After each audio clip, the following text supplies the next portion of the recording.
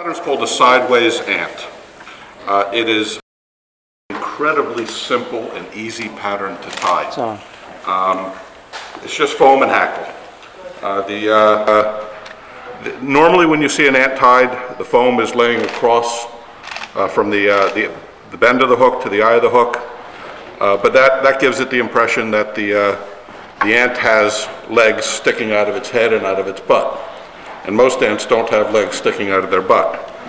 Um, This is the same silhouette and profile that you're going to see with the regular ant, but it's just a little bit different by having the hook. The other thing I do is I use a, uh, a black hook, a Tiemco.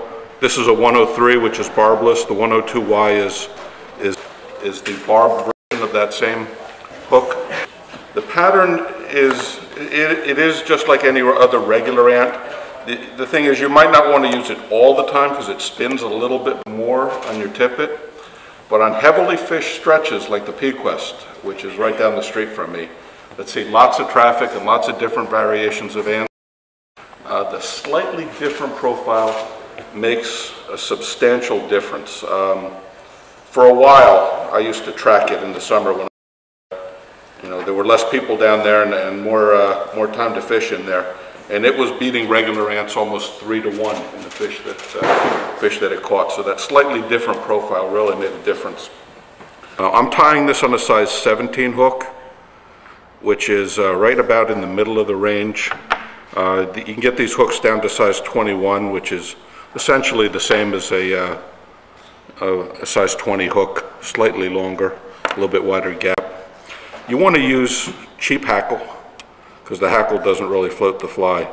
Uh, The foam floats the fly. we're using grade three? Um, Yeah, whatever is cheap. This happens to be a grade two neck because I forgot the black hackle at home and had to make do with the, the green that I have here. Uh, But the hackle really doesn't matter that much. Attach it to the middle of the hook. Put the foam. The foam, by the way, you can buy in the fly shop for about six dollars a sheet, or you can go to the craft store and buy uh, a nine, nine inch by 12 inch sheet for 49 cents. Uh, This one came from the craft shop for 49 cents. Are you, you trying to put me out of business? Uh, Yes, go ahead, I'm sorry, yes. Don't hang here. Hide the hand? Oh, okay. All right, well, I gotta, I gotta hold it this way first. Just wrap it over the hook. Okay? And, get the, yeah, it's a big hand, small hook.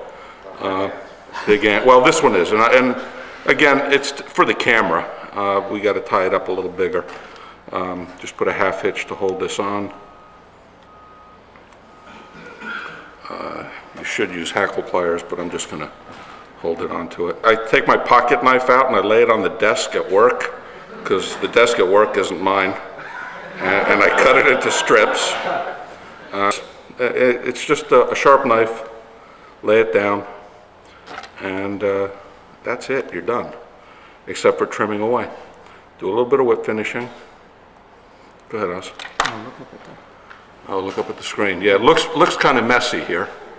We'll, we'll lay that out. And, um, you know, flies that are neat, uh, you won't see those coming off of my vise. Uh, you will, will however catch these, these will catch fish, and I'm gonna trim the, the hackle off. And you want the, the body of the ant be in total about the length of the hook. So that's about it. There you go.